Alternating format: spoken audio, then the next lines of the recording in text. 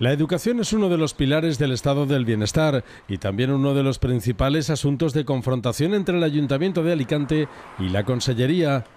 Las aspiraciones del consistorio alicantino de volver al distrito único se ven frustradas por la decisión del Consell de dejar las cosas como están. El Consejo Escolar Municipal del Ayuntamiento de Alicante aprobó hace unas semanas volver al distrito único que había derogado el Consell a instancias del tripartito en 2015, pero el conseller no lo autoriza porque la Consellería de Educación es la que tiene la última palabra. El Ayuntamiento de Alicante propone tres grandes zonas para que las familias elijan centro escolar atendiendo a los criterios que consideren, pero la Consellería se empeña en imponer la cercanía al domicilio como único requisito a la adjudicación del colegio. Esta decisión no gusta a los colectivos educativos de los colegios concertados alicantinos ni tampoco al equipo de gobierno del Ayuntamiento de Alicante. Como estamos acostumbrados, una vez más, el conseller Marsa vuelve a imponer su sectarismo denegando el distrito único a la ciudad de Alicante, desoyendo la decisión que tomó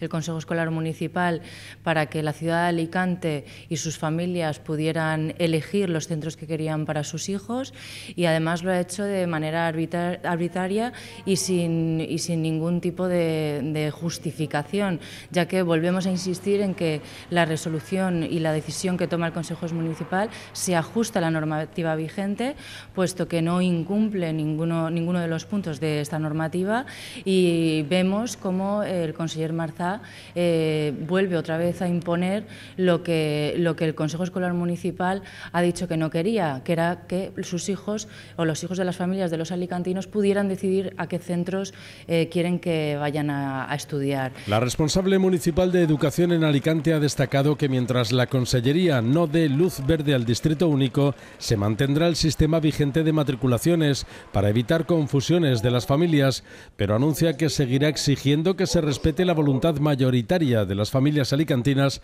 expresada en el Consejo Escolar. Los trámites para la matriculación siguen igual que hasta, que hasta el momento, que se mantienen los nueve distritos, puesto que no queremos que, pues, crear ninguna incertidumbre a los padres para, para poder eh, llevar adelante las matriculaciones pero bueno, insistimos en que seguiremos trabajando para que el Distrito Único sea una realidad en nuestra ciudad. El Ayuntamiento de Alicante había propuesto tres grandes zonas para permitir que hubiese movilidad en la elección de colegios y exige a la Consellería que en vez de prohibir la elección, invierta fondos en becas de comedor y ayudas al transporte para que las familias alicantinas decidan el modelo educativo de sus hijos en función de sus convicciones personales.